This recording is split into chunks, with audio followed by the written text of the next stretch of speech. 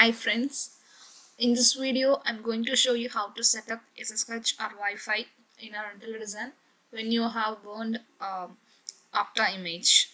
Previously on video I have shown you in Debian how to set up Wi-Fi. Compared to Debian in Yocto, Wi-Fi setup is very easy. For this we are using PuTTY. Just open the PuTTY and give port and uh, bit rate. Serial communication, uh, already I have said we can see our booting process. Now uh, its booting process of Intel Edison is going on. Just wait. Okay.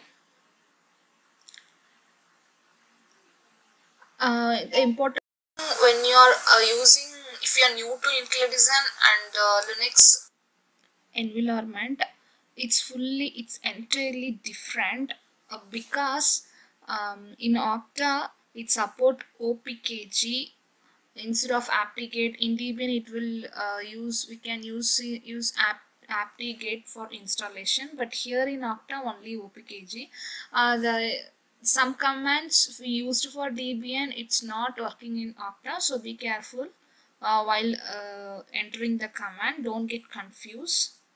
Okay.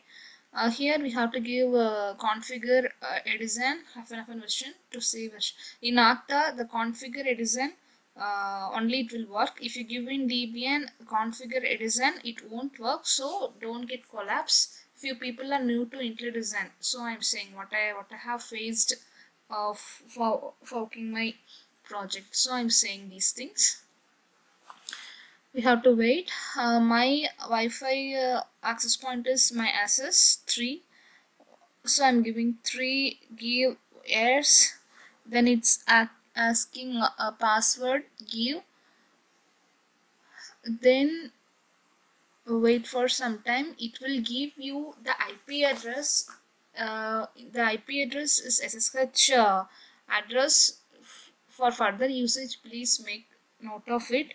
Uh, here I have written set a password for my uh, Edison. Here asking to fully work with SSH we should set a password until that SSH won't work. So I'm going to configure uh, Edison uh, password. So configure underscore Edison hyphen hyphen password. Give this command. Okay.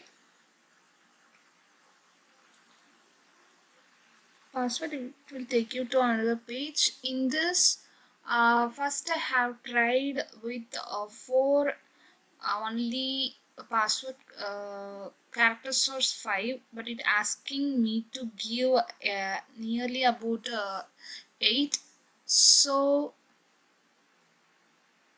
please give the characters above 8 for your password and make note of it. Because in SSH uh, when you log in with SSH uh, it will ask your particular uh, root password. So we have to give okay